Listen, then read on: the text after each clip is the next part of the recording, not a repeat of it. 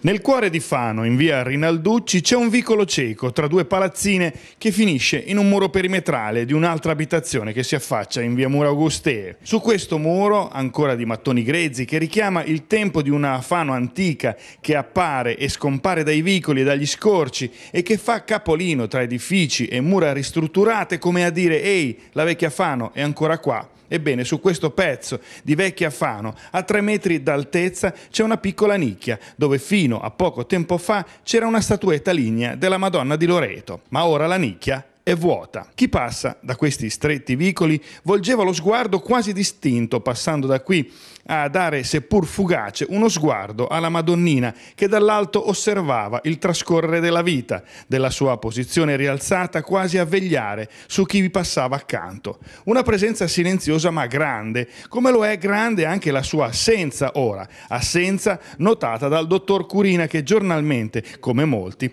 transitava e transita nella strada e che ci ha segnalato l'assenza della statuetta. Ora c'è da chiedersi quali sono le cause della sua sparizione. È stata ventilata alla proprietà diverso tempo fa di uno degli immobili confinanti col vicoletto la volontà da parte di qualcuno di restaurarla e riportarla al suo originario aspetto. È forse questa la ragione della sua assenza? O forse ancora peggio qualcuno l'ha rubata o trafugata? E per farne cosa? E quali mani si sono macchiate di questo orribile gesto? Il suo valore intrinseco, anche se la sua origine potrebbe essere anche settecentesca, non dovrebbe essere elevato. Quindi perché rubarla eventualmente? Speriamo, e come noi in molti, che l'ipotesi del restauro sia la ragione della sua assenza e se così fosse ci piacerebbe conoscere il mecenate che si è reso protagonista di questo gesto.